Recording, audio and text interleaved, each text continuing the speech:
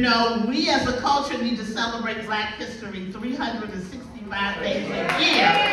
But we focus on it in um, February, the shortest month of the year. It couldn't even contain us. Okay? Today we're paying a tribute um, to Maya Angelou.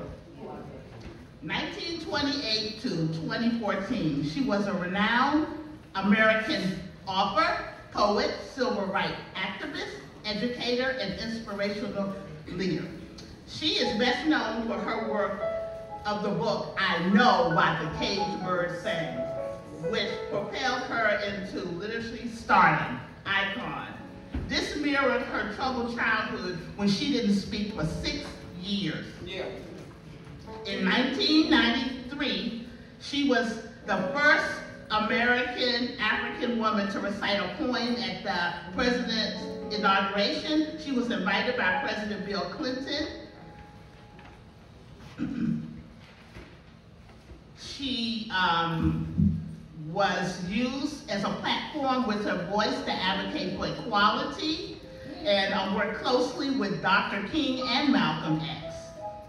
She was a humanitarian, an educator, an inspirational speaker, and she was a singer and dancer. Many people don't know that. she received so many awards.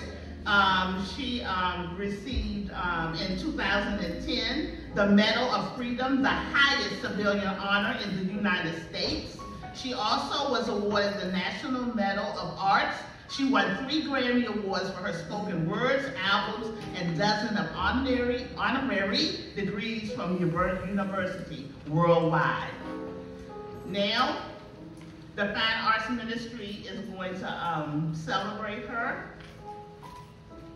And we're going to do the poem Still I Rise by the music ministry accompanied with the piano and the dance ministry and the spoken word. So here we go. You may write me down in history with your bitter, twisted lies. You may find me in the very dirt, but you know, still I rise. Does my sassiness upset you? Why you are you beset with gloom?